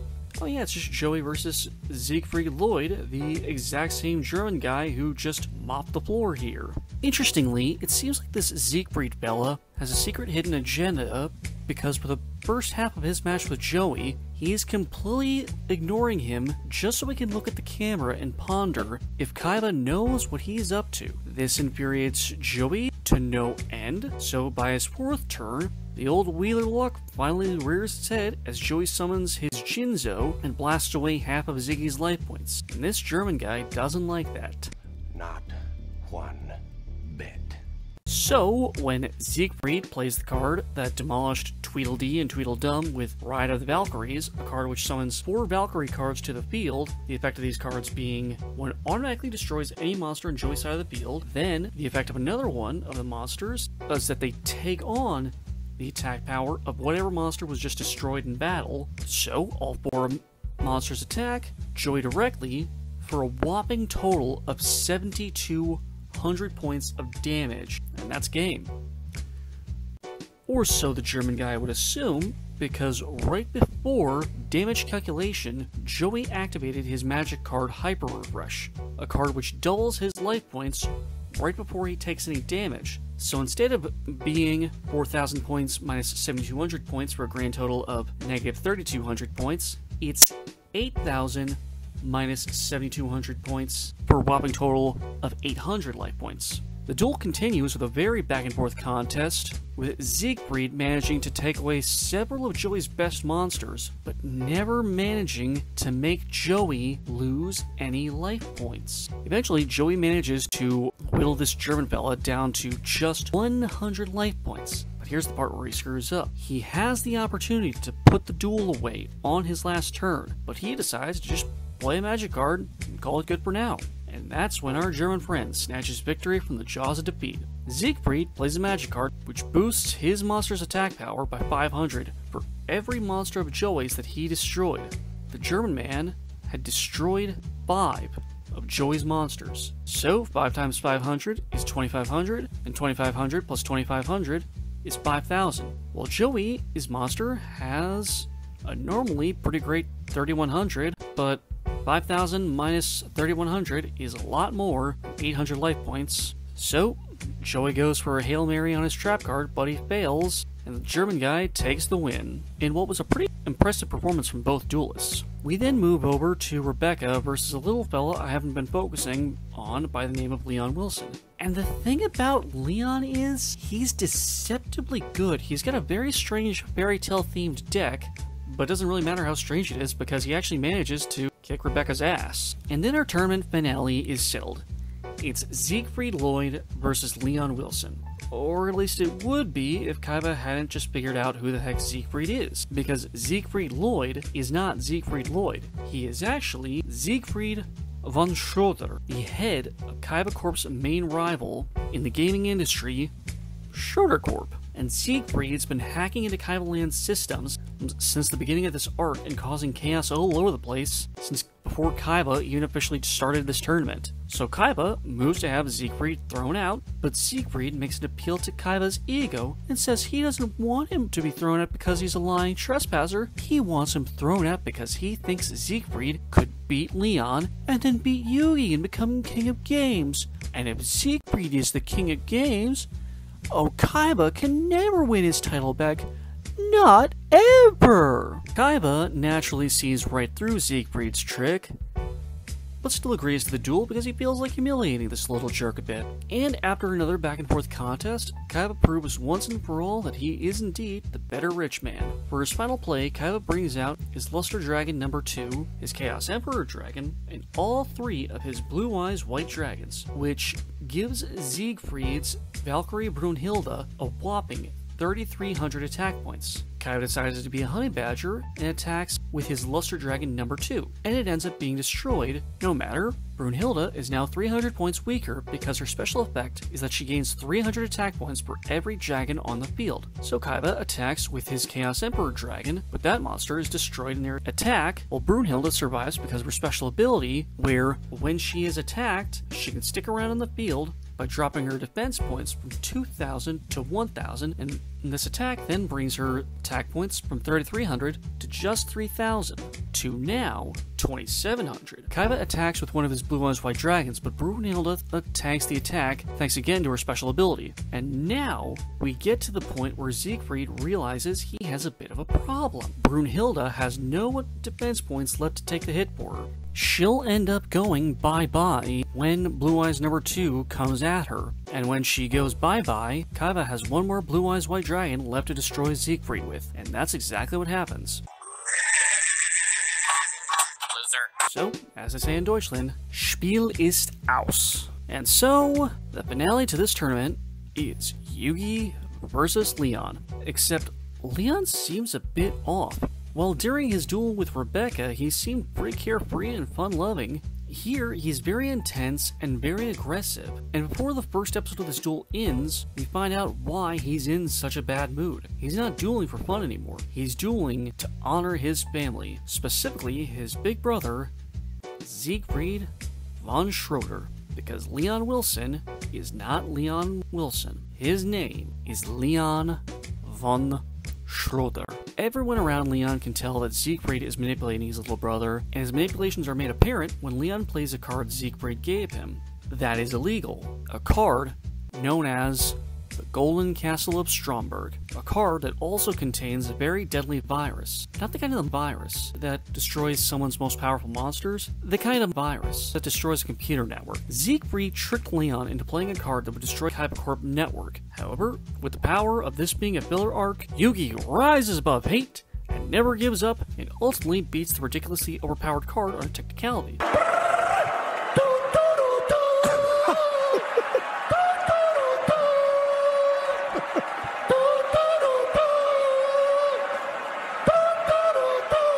See, this illegal card requires the opponent to deposit half of their deck into the graveyard as a way for the summoner to keep it on the field. But the problem comes when you realize he only has one card left in his deck, so the Golden Castle waves bye bye to the field and Yugi wins the game. I miss the Big Five. There were so many strange characters in this arc, and literally only two were given anything to do. The duels were pretty fun with some pretty creative decks, but. God, this was pretty forgettable. This was. Oof, not gonna lie, I, I didn't like this one as much. 6 out of 10. Okay, this is gonna be a weird one. The final episode of Yu Gi Oh! Duel Monsters aired in the United States on June 10th, 2006. This specific arc aired from September 9th to November 25th, 2006. Capsule Monsters was a series of 12 episodes commissioned by 4Kids. These episodes have no Japanese counterpart. They were only made on behalf of the American studio or the American audience. If you don't remember anything about it, it's probably because, as I've already pointed out, it aired three months after the show actually ended. Its episodes are meant to take place between the Grand Championship arc and the proper final arc of the series, so I will cover it, but it has a much stranger premise than the rest of the show. For starters, it isn't actually focused on card games. What it is focused on is a board game called Capsule Monsters, which works by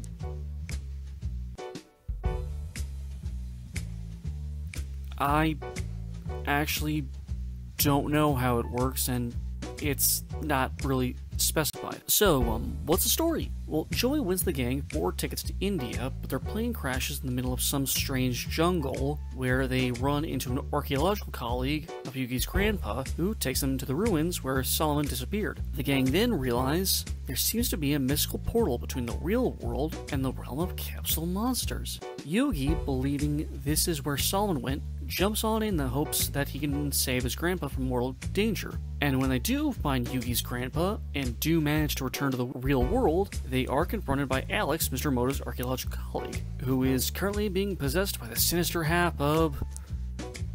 fucking. Alexander the Great?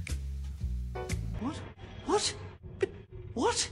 What? Eventually, the gang all have to face Alexander in a battle to see who will take control of the power to rule the entire world, which, in typical Yu Gi Oh! fashion, is a battle that is won by the Pharaoh. Once reunited with his good half, Alexander confides in Yami that when he ruled Egypt, he was actually inspired in large part by what it was that Yami did as the ruler of Egypt, and he really hopes that the Pharaoh will be able to remember who he was soon. Aww. You know what I'm thinking of right now? In a more mature series, Yami would probably be a little angry talking to the guy that conquered his kingdom. Anyway, I don't know what inspired this actual story for an extra 12 episodes of Yu Gi Oh! Because the thing that made Yu Gi Oh! interesting was the interpersonal conflicts between characters and the actual strategy and quick thinking that went into all of these duels. With capsule monsters, well, these connections are so long established and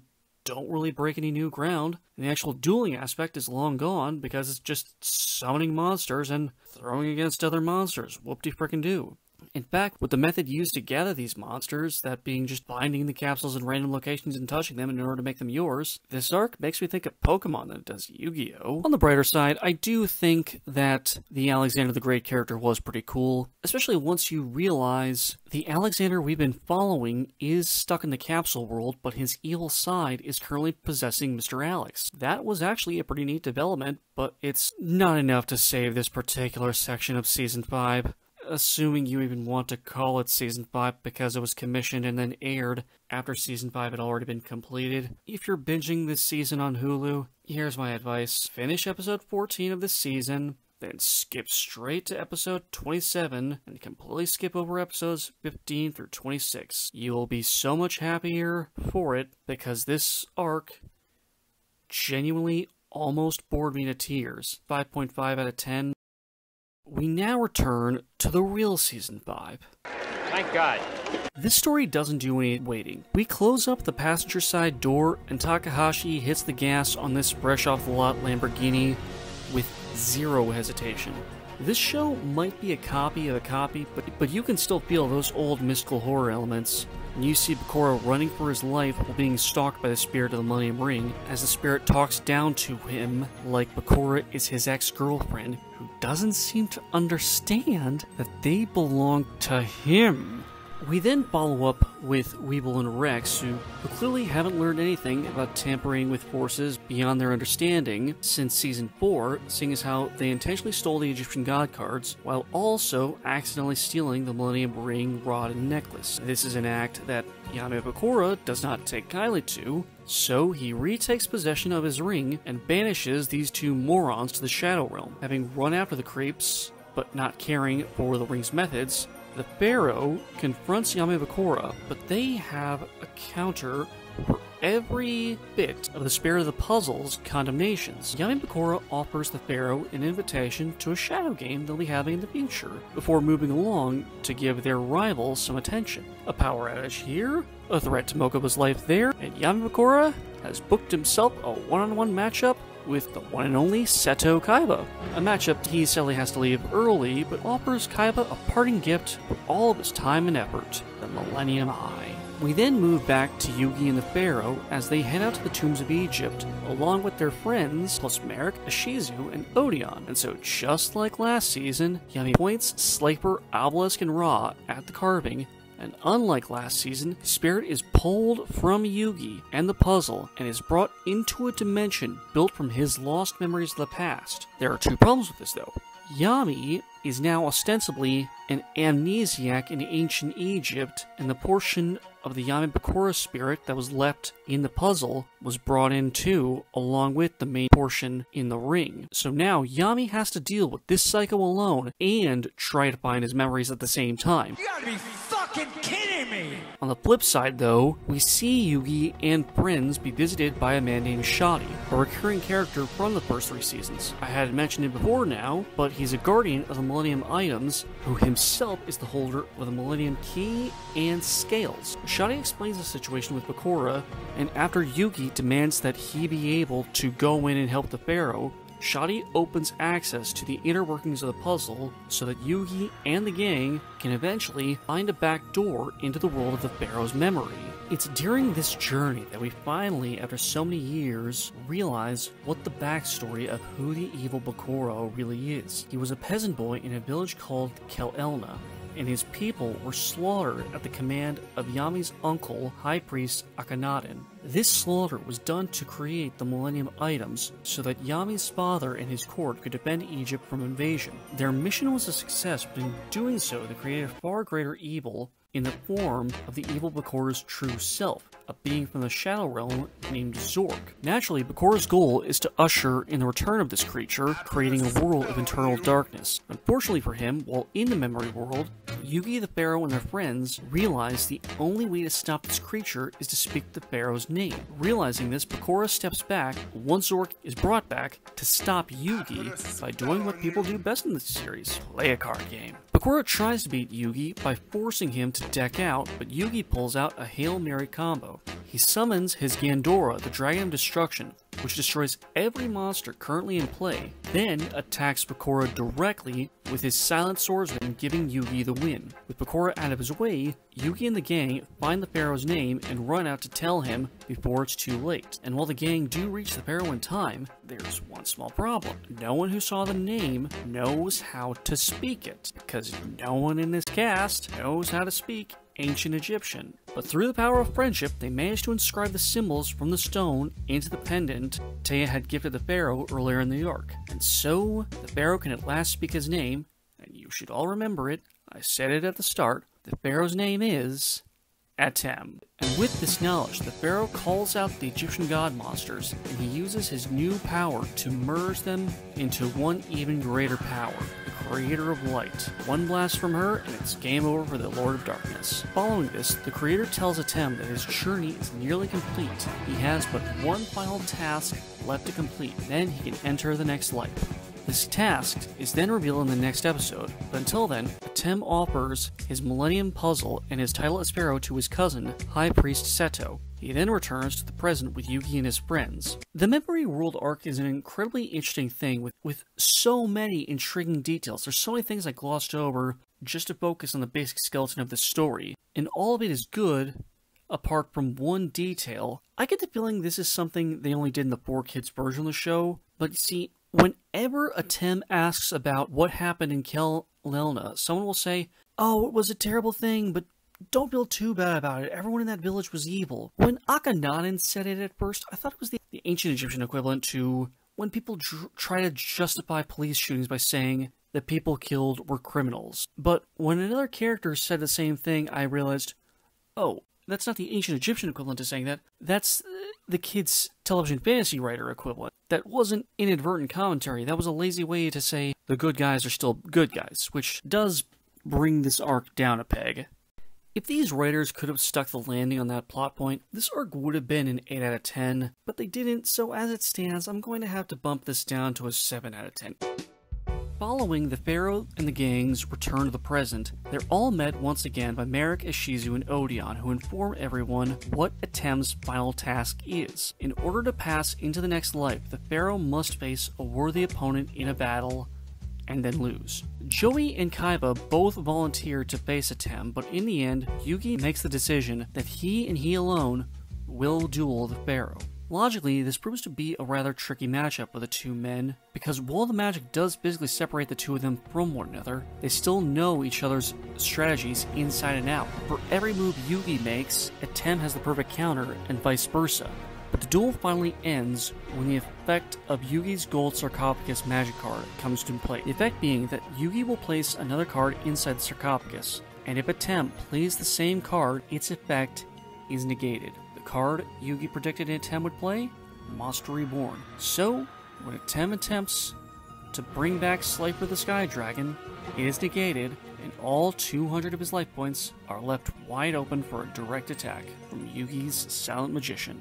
And in a moment reminiscent of Nick Jackson nodding at Adam Page before the Hangman delivered a second buckshot lariat to Kenny Omega at Full Gear 2021, or of Shawn Michaels saying the words, I'm sorry, I love you, for knocking Ric Flair's lights out with sweet chin music at WrestleMania 24, Yugi directs one final attack at Tem, and the Pharaoh is free to join the other side. Yugi, Téa, Joey, and Tristan all tearfully bid farewell to their old friend, and Tem bids them his own goodbye and salutes them all with a thumbs up before entering his afterlife with all his friends and family from Egypt. The series then ends with Yugi reassuring his friends that sometimes the end of one journey is just the beginning of another. The final duel is a genuinely terrific batch of episodes. I'm generally not the kind of person who cries at my entertainment, but seeing Yugi beat the Pharaoh and Atem complimenting him for being such a great duelist really did make me misty eyed. Yes, you heard me right. I cried over fucking Yu Gi Oh! Judge me if you feel so inclined for it. I feel incredibly cringe for it, but damn it, man, I had a rough week when I was rating this. I needed it. I really needed some comfort media. And in addition to being such a great duel in general, it's also just so touching to see everyone's reactions to the duel. It's not just the usual speeches from Téa where she's screaming, Doctor, you have to save him! Quick, inject him with 40 cc's of friendship! She's actually very conflicted. She wants what's best for Atem, but she's not ready to say goodbye. Kaiba's reactions are also very intriguing. At first, he's dismissing that Yugi has any chance and just assumes that Atem was the true king of games all along, but changes his tune as soon as Yugi manages to take down Atem's Egyptian god cards and even verbally declares out loud that Yugi really is the king of games. Joey also has some particularly good insights into the duel going on. When the now good Bakura suggests that Yugi wants to lose after all, when they all witness Atem's obelisk destroy one of Yugi's most powerful monsters, but Yugi just smiles through it all, Joey dismisses that thought. In his observation, Yugi is smiling because he's having fun. For years, whenever there were serious stakes at hand. Atem was dueling, and Yugi just took a back seat. But now, Yugi is up close and personal with an Egyptian god, and it's all so exciting. And the ultimate icing on this cake is Atem gently telling a crying Yugi that a champion doesn't belong on his knee, followed by a truly beautiful speech from Joey. True friends may be hard to leave, but they're impossible to forget. And even though his stay wasn't as long as we would have liked, we're lucky we knew him at all. And for as much as it's been joked about and memed to death, even in the series by Téa herself at one point, the driving force of Yu-Gi-Oh! is friendship. Joey's English and Japanese names were deliberately chosen because when the syllable Jo is combined with the symbol Yu from Yugi, you get the Japanese word Yujo, meaning friendship. And this last arc encapsulates the bitterest pill there is with any friendship saying goodbye. And this is probably the best way for both the Tem and this series to have said goodbye. 9 out of 10, absolutely wonderful. Absolutely fantastic. I really love Yu Gi Oh! As a 10 year old kid, this was one of my favorite shows. Watching it either on Saturday mornings or late at night on Fridays was always such a treat. And watching it again as a 28 year old adult, yeah, it's still pretty great. Is it corny? My friends, when I was 11, I went on a trip out west with my family where one of our stops was South Dakota. We went and saw Mount Rushmore and it was amazing. But while we were there, we also visited a venue called the Corn Palace, a building covered head to toe in beautiful and creative murals made from actual kernels of corn. That building has less corn in it than Yu Gi Oh! Obviously, this show is corny and it can get a bit grating at times, but it's also terrific, either regardless of its cornball nature or often because of it. The duels are consistently exciting, the villains are consistently great, and the actual story of Yugi and Atem is also really, really great. It's just really good. I'm going to give the full Yu Gi Oh! Duel Monster series an 8.5 out of 10.